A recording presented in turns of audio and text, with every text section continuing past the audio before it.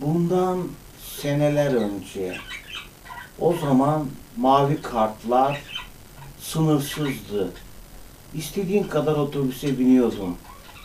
Otobüsler kalabalık olduğu için, ayakta gitmeyi sevmediğim için ben mesela buradan Üsküdar'a dört tane otobüsle giderdim. Aktarmalı. Nasıl olsa sınırsız. Boş otobüslere biner biner biner. Vaktim de var. Öyle eve gelirdim veya gezmeye giderdim. İşte yine böyle bir gün Taksim'den Bostancı'ya gittim. Sahil yolundan. Bostancı'da sahildeki ana otobüs duraklarında bizim burada Libadiye'ye gelecek, oradan geçecek otobüsün gelmesini bekliyorum. Pek kimse yok. Etrafta bir iki kişi var. Bir tane güzel bayan geldi.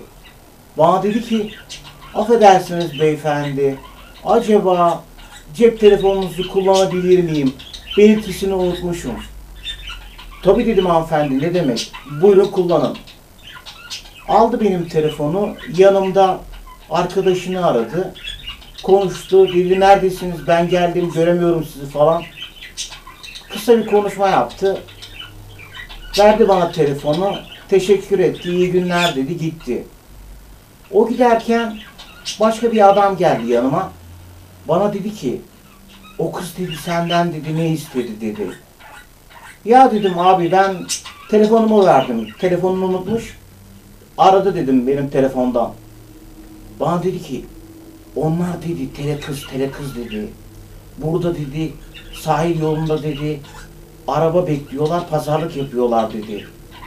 Kendi numaralarını dedi sana vermek için yapmışlar dedi. Aa şaşırdım. Güzel de kız. Peki hiç aradın mı? Hiç aramadım. Neden?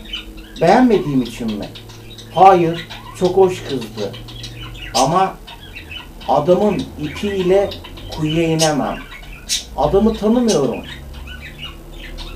Ne bileyim doğru olduğunu. Ben şimdi kızı arasam, desem ki işte şöyle şöyle ona tele kız muamelesi yapsam. Ya kız gerçekten tele kız değilse